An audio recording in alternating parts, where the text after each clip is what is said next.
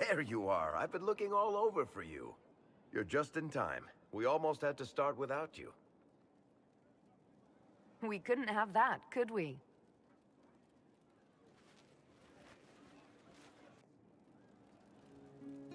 I found her, Ruffles. Deal her in.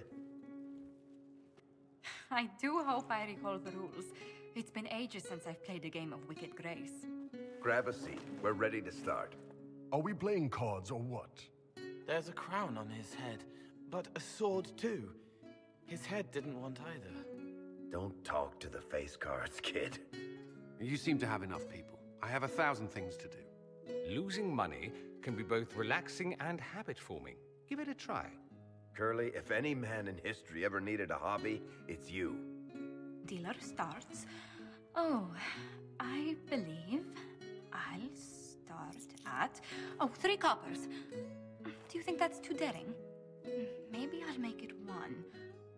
No. Boldness. Three it is. Seriously, who starts at three coppers? Silver or go home? Bolder the better, right? I'm in. Me too. Well, are you in? I'm in, and raising another silver. You haven't even looked at your cards. Well, our illustrious leader is betting we're bluffing.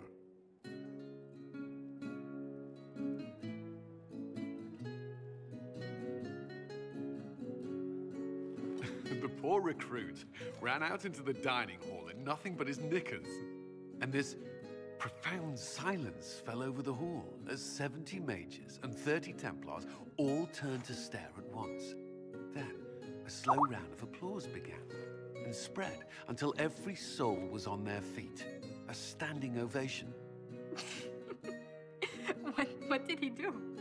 Saluted, turned on his heel, and marched out like he was in full armor. Good man. You're shitting us! That's how you know it's true. I could never put that in a book. Too unlikely.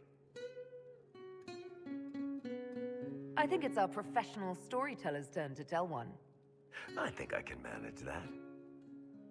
Did I ever tell you about the time we broke into Chateau Haine? It started, as most capers do, with a trap.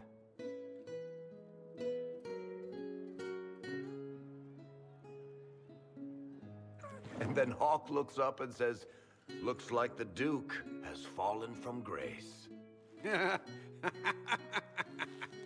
That's how Duke Prosper died? You know, that's almost perfect for him. And the dealer takes everything. I win again. Deal again. I've figured out your tells, Lady Ambassador. Commander, everyone knows a lady has no tells. Then let's see if your good fortune lasts one more hand. I want another chance to win my dignity back. Deal me in.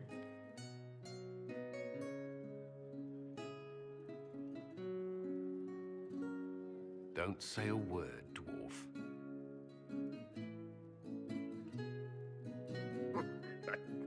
I tried to warn you, Curly. Never bet against an Antivan, Commander. It comes off. I didn't know it came off.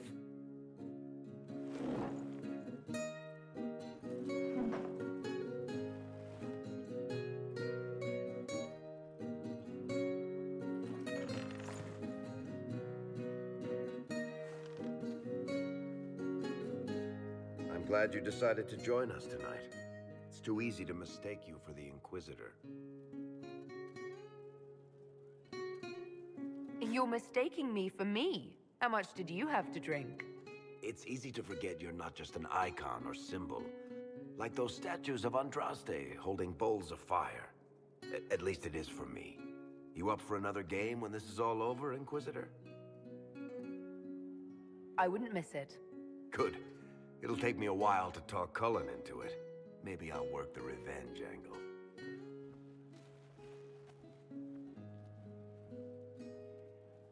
Who's that? Did I win?